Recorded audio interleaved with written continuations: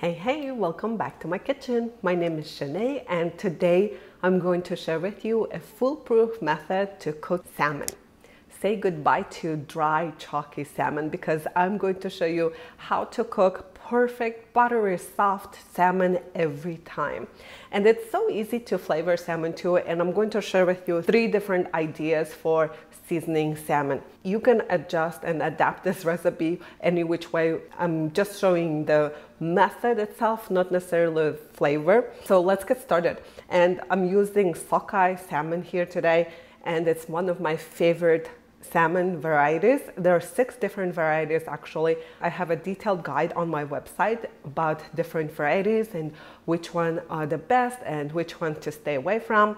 And you can read that in my blog post here. I'm using sockeye salmon and this is the best salmon because you can't get farmed sockeye salmon. It's only available as wild caught. Again, you can flavor your salmon any which way. I'm going to use pesto on one of the salmon. On another one, I'm going to use simple olive oil and lemon, very classic. And on the third one, I'm going to use compound butter.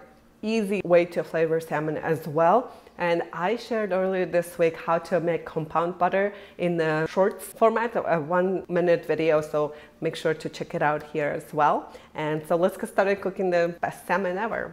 So here's what I like to do. First, I like to drizzle a little bit olive oil over the baking sheet. Now you can line your baking sheet with aluminum foil if you would like, just for easy cleanup, but today I'm going to just bake it on baking sheet. Another thing I like to do is sprinkle some salt so that your fish gets seasoned from the bottom as well.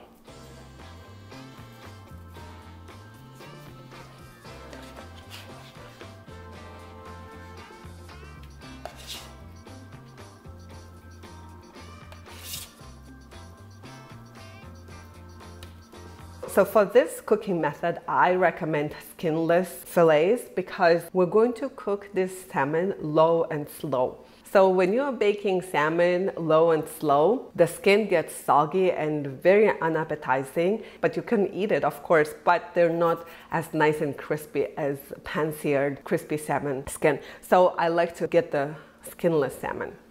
Now I'm going to brush on one of the salmons with olive oil. I have too much olive oil here, so I'm just gonna use that. And I'm going to salt all of the salmon. Don't forget salt because it's important for best flavor. So for lemon salmon, I like to also use lemon pepper as well, just a little bit more flavor, you know? You don't have to. And then place a couple of slices of salmon on top. This is it. Now, another favorite of mine is pesto salmon. Just go ahead and spread the pesto all over the fillet, like so. It's such an easy way to flavor the salmon. So, so easy. And then the final one is I like to use compound butter. Just go ahead and place it on top like so.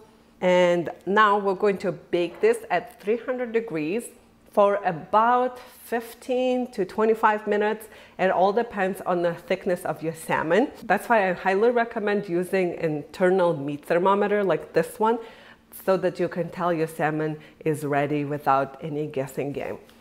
According to FDA guidelines, you want to cook your fish until the internal temperature reaches 145 degrees.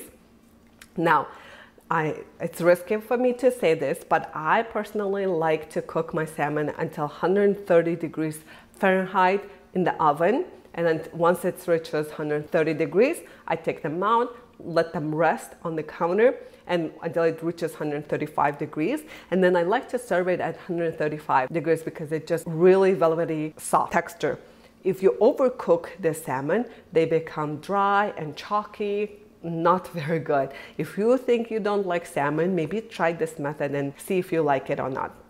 Again, good quality salmon is the most important thing for best results. You can never go wrong with sockeye. So I'm going to pop it in the oven and I'll see you in about 15-20 minutes. My salmon is cooked, smells so good and looking perfect. butter melted from compound butter and the herbs and this is actually garlic scape compound butter so it will taste garlicky and so delicious. So let's give it a try. thinking to try the pesto one or let's try the this compound butter one. looks so good.